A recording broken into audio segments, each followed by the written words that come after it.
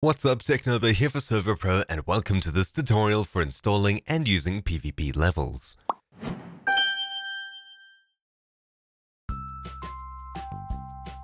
PvP Levels is a simple plugin that adds a score system encouraging PvP and rewarding good players. With item shops, boosters, and more cool features, it's an interesting plugin. To install a plugin, head over to the plugin section, select the Spigot tab and search for PvP Levels.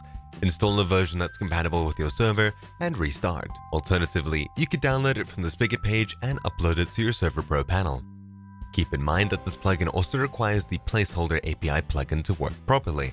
It also supports MMO items, so if you'd like to include even more customizable items later, then make sure to install the MMO items plugin.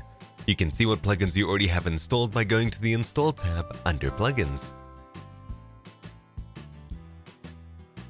Upon connecting to the server, you'll get a welcome message in chat from PvP levels. But before we jump into any commands, I'll quickly grab a kill here so you can see what PvP looks like. Upon finishing a player, we get a PvP levels message in chat saying we gained XP, followed by the XP required to level up. What does all this mean? Well, we'll get there in a second. Upon getting a 5th kill, we receive an award for having a kill streak. We can get some info on the plugin with slash PvP levels. For help with commands, we can use slash PvP levels help. Slash PvP stats returns your own PvP stats in chat, and you can follow the command with another name to check another player's statistics. Slash PvP profile brings up a GUI where you can check your own PvP stats or check a list of all players that you can sort by kills, deaths, XP, level, kill streak, and more slash PvP top followed by kills, deaths, XP, or level returns the top 5 players for each category in the chat. Slash PvP shop brings up a shop GUI, but I'll quickly set myself to level 5 and give myself some coins, which we'll cover in the admin command section next. After doing that, I can open up the shop, enter one of these custom shops, and buy myself a couple of items.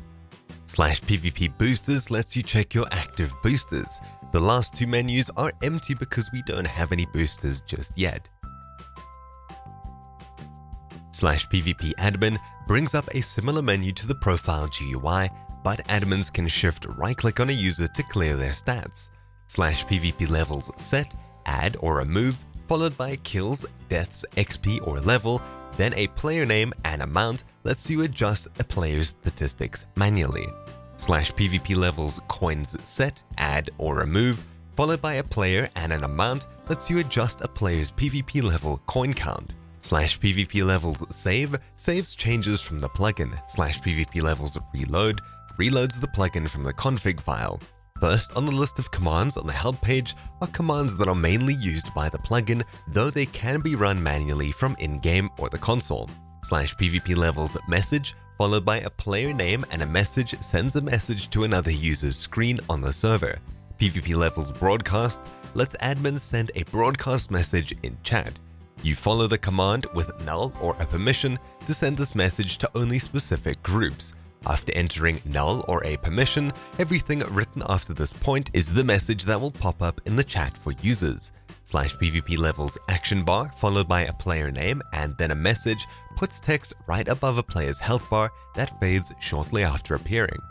PvP levels GUI open followed by a file name from inside the GUI folder in the plugin's settings folder and then a player name opens a specific GUI menu on a player's screen. For example, slash PvP levels open profile.yml techno. PvP levels items add player name, item, and amount adds an item to a player's inventory. For example, PvP levels item add Techno Diamond Sword 12. We can get more advanced with giving items by using the PvP levels item set command.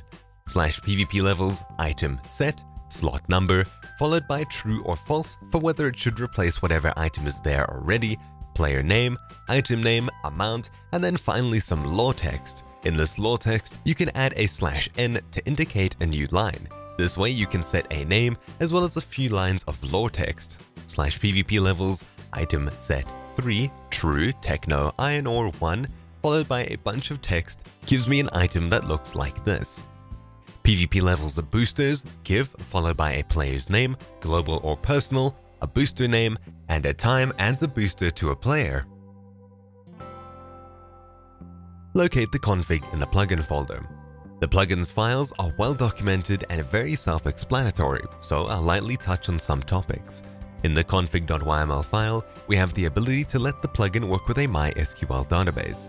We can tell the plugin to remove players when they haven't played for more than a certain number of days, and by default this clears players' stats after they haven't played in about a month. Level Up has an option to clear XP on Level Up. You can either have levels and start from 0 XP per level, or you can level up when you reach certain XP milestones. Here you can also add UUIDs of players who are blocked from earning XP at all. The placeholders section lets you customize how the plugin's placeholders work. Kill session stops XP farming off of certain players, and the bottom lines of this file contain chat messages for different events. Boosters.yml contains settings and localization for when a booster is used, and some settings for the shop GUI. Language.yml contains localization for the plugin. Levels.yml contains level settings, and in here you can add or remove levels, set required XP, and change what commands are run when you level up or down. The GUI folder contains all of the GUI menus that can pop up in-game, and they're all very similar. They contain items, names, lore, position, and commands that run when a user clicks on them. You could add just about any item here that runs just about any command. Anyways, I hope this tutorial was helpful. If you have any video suggestions, leave them in the comments down below.